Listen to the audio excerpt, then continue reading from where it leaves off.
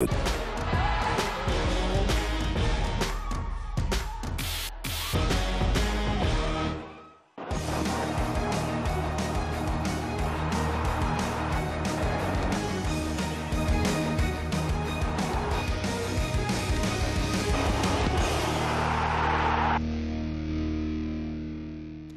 Real Madrid ya está en la final de la Supercopa. ¿Qué tal? Buenas tardes. Luego veremos el resumen de ese partido en el que brillaron los porteros. Antes, Kirian Rodríguez vuelve a la Liga de Fútbol Profesional. El jugador de la Unión Deportiva Las Palmas celebró hoy emocionado que ha superado el linfoma de Hodgkin y que el club le devuelve su ficha en la plantilla profesional. Lo hizo ante los medios en una comparecencia sin preguntas en la que el futbolista estuvo arropado por sus compañeros, cuerpo técnico y directivos. En cuanto al plazo para volver a verle en un partido oficial, el tinerfeño no se marca una fecha. Su siguiente objetivo es trabajar por el alta competitiva. El club, como, como teníamos acordado, va, a ejecutar el, efectuar la ficha, devolvérmela, volver a, a, la normalidad con mis compañeros, volver a mi, a mi día a día, a mi vida normal, que me quedará para ponerme en forma porque al final esta gente va en moto, yo no sé qué, qué llevan comiendo este tiempo que yo no lo he visto, y estar lo antes posible para, para poder aportar tanto dentro del campo como, como fuera. Así que nada más, con esto nos quedamos.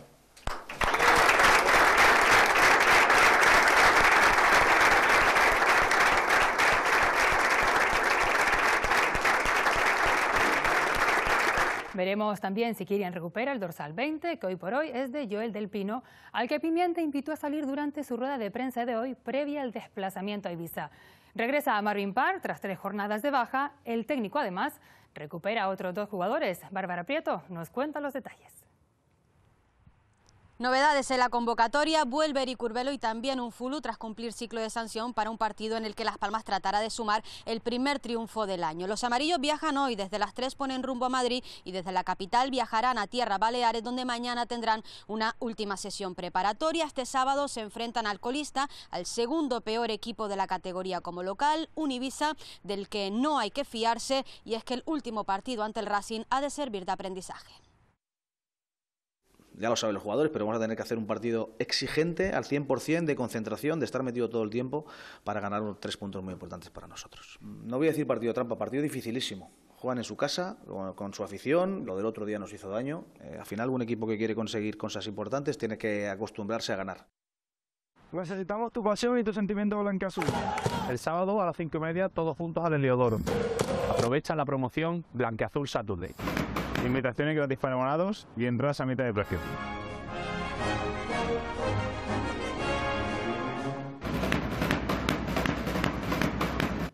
El Club Deportivo Tenerife quiere iniciar su remontada deportiva y también a nivel de seguimiento de público en el estadio con esta promoción que hemos visto. Cada abonado podrá hacer una invitación adicional y el público en general entradas a mitad de precio. Y es muy importante que en el estadio eh, pues el equipo sienta el calor de la afición. Y para eso necesitamos eh, que los aficionados conectarlos con, con, con, el equipo de nuevo. La visita de la Ponferradina supone una oportunidad para retomar el, el idilio perdido en las últimas jornadas entre equipo y afición en el Heliodoro, donde no se han superado los 8.700 espectadores. Ya se han agotado las entradas de Popular Baja y Sebastián Baja, duelo vital para los de Ramis, que quieren poner distancia con la zona de descenso ante un rival directo. El técnico cuenta con las dudas de Waldo Rubio y Alex Corredera. Lo que queremos es eso, de llegar que, que llega el sábado, dar un golpe sobre la mesa. Necesitamos los tres puntos y bueno, eh, también eh, la gente que, que, se anime a ir al estadio, que como ha hecho hasta ahora, que nos, que nos ayude porque al final eso se nota y, y animarles a que acudan eh, el sábado a las cinco y media. La UDG de Tenerife se impuso con claridad en el derby de octavos de la Copa de la Reina, hicieron valer su condición de favorito y vencieron al Fundación Club Deportivo Tenerife por 0 a 4. Las de José Herrera no dieron opción a su rival y apenas sufrieron para llevarse una victoria que acabó siendo clara. Pisco adelantaba las suyas en el minuto 3 desde el punto de penalti. A la media hora, una jugada individual de María José terminó en un remate escorado desde fuera del área que se coló por la escuadra chicharrera. Poco tiempo después fue Monday quien anotó el tercer tanto y ya en el 71 Nasello colocaba el 0 a 4, otra vez desde los 11 metros.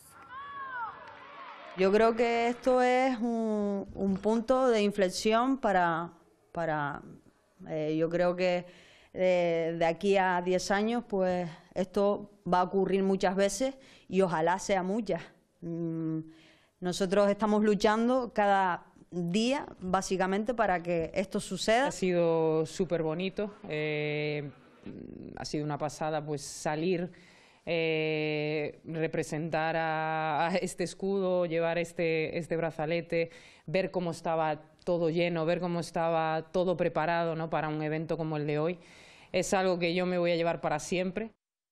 La primera semifinal de la Supercopa en Arabia Saudí no defraudó los 90 minutos reglamentarios, la prórroga y la tanda de penaltis que se llevó el Real Madrid ante un combativo Valencia. Los porteros Thibaut Courtois y Marmadesvili fueron protagonistas por sus paradas. El Valencia salió a presionar en el campo del Real Madrid, asumió riesgos, adelantó al equipo y eso dejó espacio, lo que le costó un gol. Militao envió un balón largo a Benzema, quien en su carrera fue derribado por Comert. El central del Valencia le trabó y el 9 blanco no falló desde los 11 metros. Arrancó la segunda parte con los de Ancelotti despistados, lo que aprovechó el conjunto Che para igualar el marcador. Samuel Lino remató un centro de Lato, se adelantó a Lucas Vázquez y sorprendió Courtois dejando de nuevo el descubierto la fragilidad defensiva que tanto le preocupa al técnico italiano. El partido entró en unida y vuelta, con dos equipos ambiciosos y los porteros como grandes protagonistas. El partido se fue a la prórroga y ahí el Madrid tuvo más piernas. Sin embargo, tanto Marmadashvili como Courtois llevaron el encuentro a los penaltis. Los blancos estuvieron más acertados y los fallos de Cormet y Gaya desde los 11 metros condenaron al Valencia. Un partido sufrido, complicado. Lo bueno es que llegamos a la final otra vez. Mucho orgulloso del, del equipo, del partido que ha hecho. El Real Madrid espera rival en la final de la Supercopa tras el duelo de esta tarde entre Betis y Barcelona.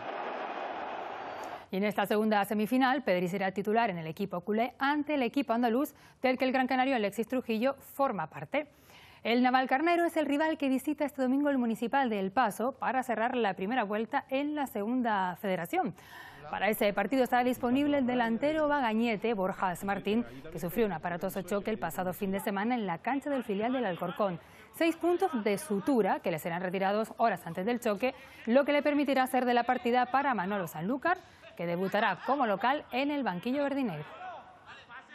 El médico me comentaba que me tenía que haber dado 10 puntos porque me tenía que rapar la zona de dentro del, cabello, pero que como en la herida ahí era más finita, podía escapar así. Estoy intentando conseguir un casco homologado para deportista, pero aquí en La Palma me está siendo un poquito difícil. El domingo por la mañana me, quitan los puntos y con precaución yo creo que sí puedo estar disponible. El Gran Canaria sigue siendo líder indiscutible del grupo B de la Eurocup al vencer 79-91 a un combativo Slack Wrocław polaco. Brilló Khalifa Diop, MVP con 17 puntos y 9 rebotes, y también David Mutaf con sus 19 puntos, 5 de ellos triples.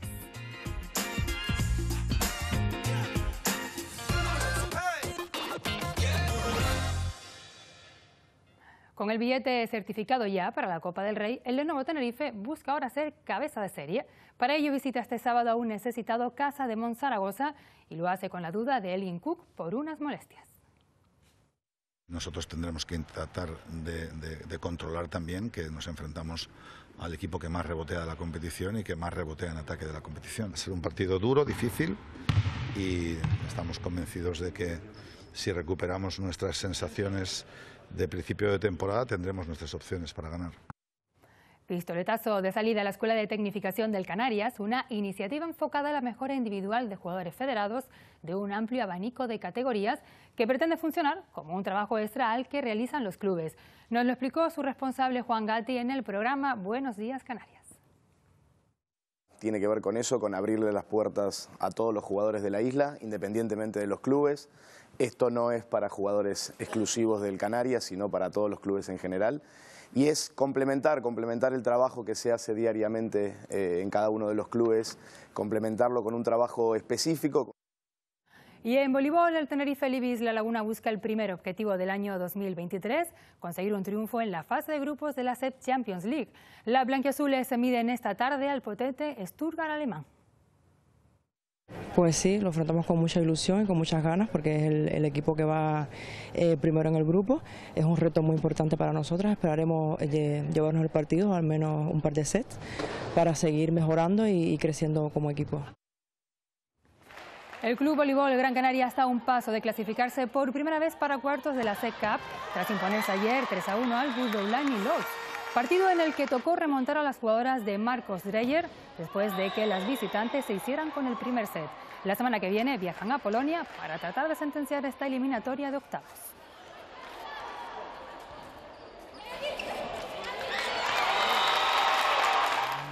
Quinta victoria para Sebastián Loeb, la cuarta consecutiva en el Rally Dakar, que le permite recortar distancias con el segundo de la general, aunque muy lejos le queda el líder a la altilla.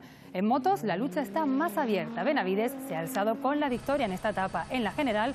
Owes sustituye a Price como líder de la general.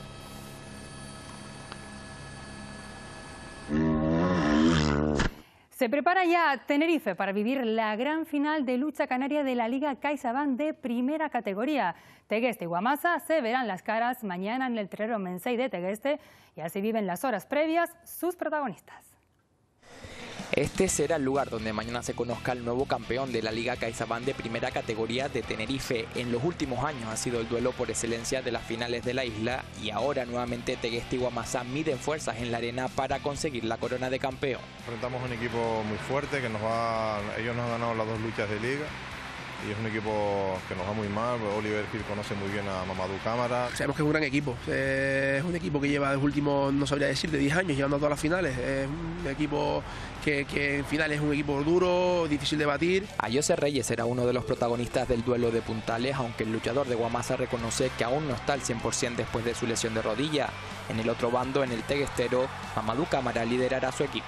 Yo ahora mismo mi nivel no, no está siendo el de otros años, entonces no, nos enfrentamos ante un gran cámara. Porque ellos tienen buenos puntales como a José Reyes y como Oliver Gil, que la última vez que agarró con él y me tiró. Entonces yo creo que ahí está la cosa también. Pero bueno, como te dije, nosotros estamos motivados y yo creo que vamos por todo. A por el título de campeón van Tegueste y Guamasa y el desenlace se podrá ver mañana en Televisión Canal.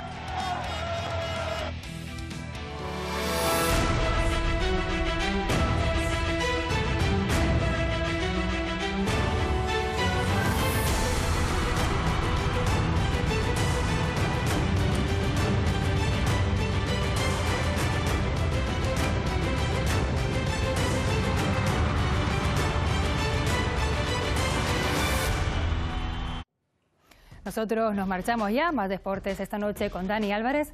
Feliz tarde.